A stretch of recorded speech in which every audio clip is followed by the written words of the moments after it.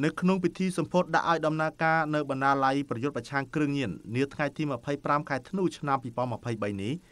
នាយឧត្តមសេនីយ៍មាសវិរិទ្ធអគ្គលេខាធិការនៃអាជ្ញាធរជាតិប្រយុទ្ធប្រឆាំងគ្រឿងញៀនបានលើកឡើងថាបណ្ណាល័យនេះគឺមានសារៈសំខាន់បំផុតសម្រាប់ការសិក្សាស្វែងយល់អំពីផលប៉ះពាល់នៃគ្រឿងញៀន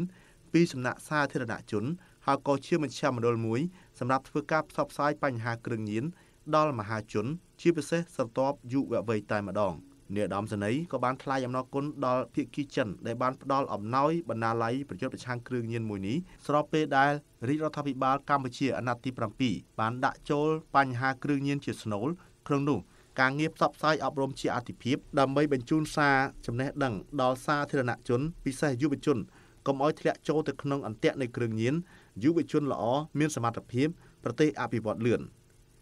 លោកចាងឈៀងអនុប្រធានបេសកកម្មនៃស្ថានទូតចិនប្រចាំកម្ពុជាបានលើកឡើងថា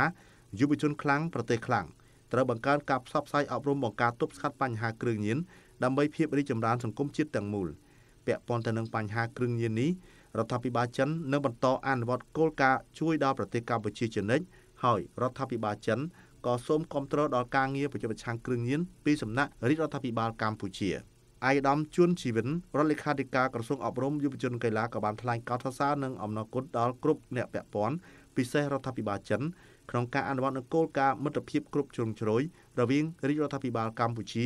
និងរដ្ឋាភិបាលចិនក្នុងទម្រង់មិត្តភាពត្បូងពេជ្រពិតជាធ្វើឲ្យកម្ពុជាចិនមានពលឺរស្មីដូចក្របពេជ្រនិងមានតម្លៃថ្លៃថ្លាដែលបណ្ណាល័យប្រយុទ្ធប្រឆាំងគ្រឿងញៀននេះពិតជាថ្នាលពង្រឹងចំណេះដឹងចូលរួមបង្ការទប់ស្កាត់កាត់បន្ថយបាននៅបញ្ហាបង្កឡើងដោយគ្រឿងញៀនការពារបាននៅធនធានមនុស្សសម្រាប់ការអភិវឌ្ឍជាតិស្របតាមគោលដៅអភិវឌ្ឍជាតិកម្ពុជា។